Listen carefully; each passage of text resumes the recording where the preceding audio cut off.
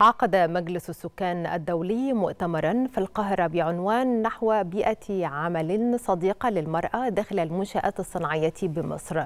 وذلك لحشد الدعم وتوحيد الجهود والإمكانات من أجل تلبية احتياجات عاملات المصانع من خدمات الصحة الإنجابية ورعاية الطفل.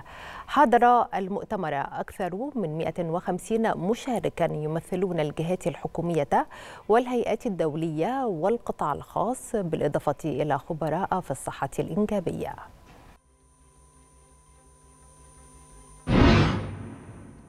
الحقيقة المؤتمر بيقدم نموذج محترم جدا لكيفية توفير بيئة مناسبة في مكان العمل للسيدة علشان نقدر نديها كل المعلومات وكل المشورة اللي هي مطلوبة في الصحة الإنجابية. وفي نفس الوقت نساعدها إنها تاخد الوسيلة المناسبة ليها في الوقت المناسب اللي هي عايزة تعمله وبالتالي نقدر نقضي على الحاجات الغير ملباة اللي هي من أهم المشاكل اللي بتعيق تنفيذ هدف مصر أهم حاجة إن إحنا متجمعين النهارده علشان نتبادل الخبرات والتجارب والدروس المستفادة. إحنا عرضنا تجربتنا إحنا مجلس سكان الدولي عرضنا تجربتنا اللي عملناها بالتعاون مع وزارة الصحة والسكان وغرفة صناعة الملابس علشان تلبية احتياجات الصحة الإنجابية وتنظيم الأسرة لعمال المصانع.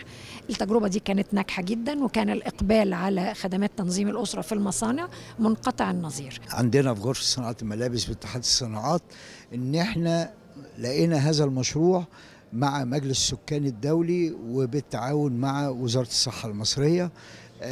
ده إدانا دافع ضخم جدا جدا إن إحنا نتعاون معاهم.